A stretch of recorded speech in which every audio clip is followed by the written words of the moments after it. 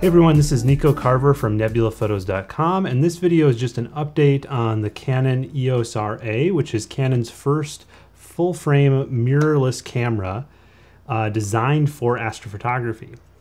Um, I did a first impressions video a few months back and it was fairly glowing.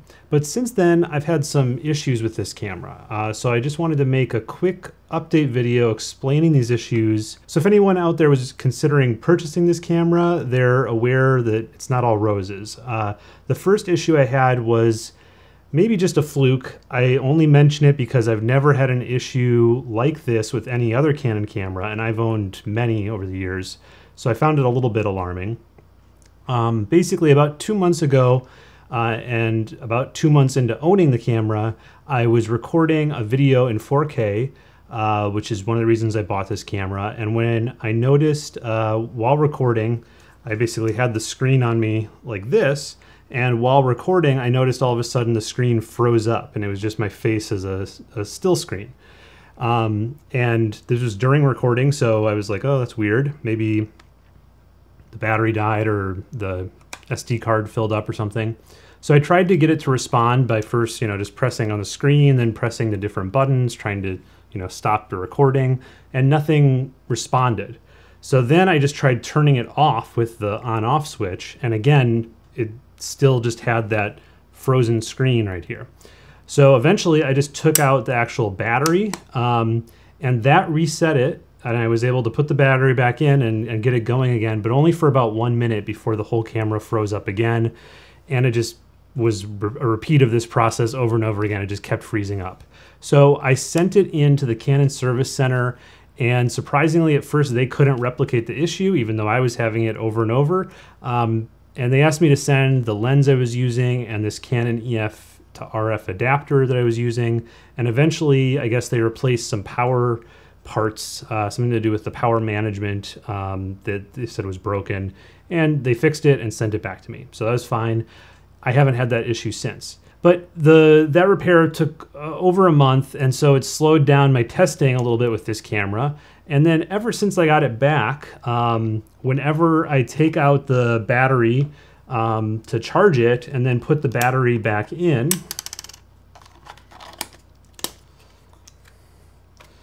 and turn the camera back on, I get this screen, the reset the date and time screen.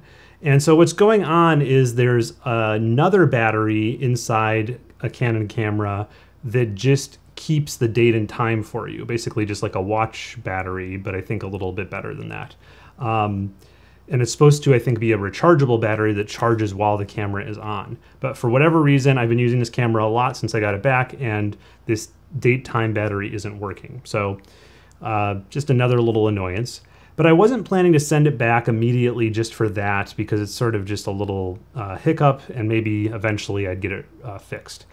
And I really wanted to take more pictures with this cool camera.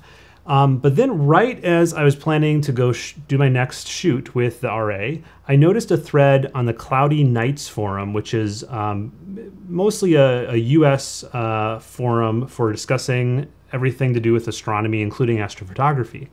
And on the DSLR forum on Cloudy Nights, I noticed this thread about reflection issues with bright stars that uh, people were saying were specific to the Canon RA.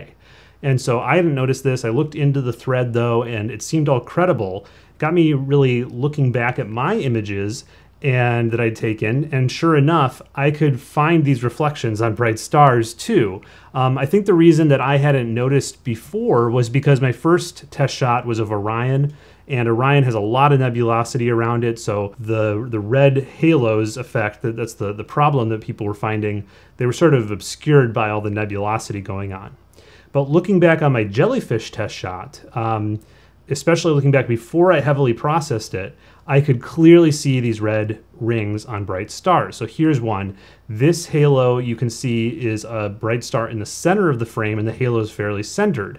But if you look at a, a bright star off center, then it gets quite distracting because the, the um, the halo is really offset from the star. And the, the more, the closer the bright star is to the edge of the full frame of the Canon RA, the more that halo becomes offset. And people on this thread were finding this effect with all kinds of different optics, telescopes, and lenses. Um, I had only tested the RA so far with telescopes. So, anyways, I asked the Canon Service Center about this, and they suggested I try to replicate the issue with a Canon lens rather than a telescope, which they probably hadn't tested for when they built the Canon RA. So that makes sense. So that night, I that same night that I got the message, it happened to be clear, and I went out with this lens. This is my Canon 200 millimeter uh, f2.8L lens, and I shot wide open, and I took some photos of Vega, which is a bright star, both with my RA and my Canon 5D Mark III, which I'm shooting with right now. And here are the results. Um, so you can see with the RA, you have uh, that really dramatic uh, red halo only on one side because I offset Vega, and with 5D Mark III, no red halo. And so it really is a shame as I was really hoping to use this camera mostly actually with um, lenses, especially Canon lenses at fast focal ratios. And I think this halo is emphasized when you get to fast focal ratios. So really it's just uh, a game breaker for me, or a, a, deal breaker, I should say. In any case, my next step is tomorrow. I'm going to send my Canon RA, the Canon lens, and my sample RAW files all to the Canon Service Center and see if they can fix this camera yet again. Um, however, the consensus opinion on Cloudy Nights is that this is a design issue with the internal filters inside the RA um, that would affect everyone's RA, not just some. Um, but we'll see. We'll see where this all goes. I, I love many things about this camera. I love how light it is. I love the flippy screen. I love the filter drawer system. So um, there's a lot of things I do like still, but so far it hasn't lived up to the high price point due to the issues I've been having um, and the, these issues have been requiring me to send it back for service when I'd rather be using it. So I guess uh, the big risk in buying a camera that's brand new to the market and relatively untested is you don't uh, know what kind of issues are going to spring up with it. Uh, anyways, I'll keep everyone updated as to what's happening with my Canon RA journey. But for now, based on my own experiences with the camera and what I'm seeing with uh, pretty widespread evidence of this red halo issue across many people's pictures, I can't recommend purchasing the Canon EOS RA.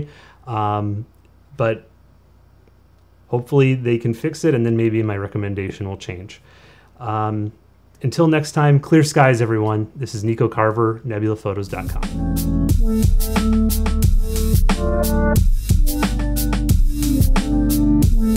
you.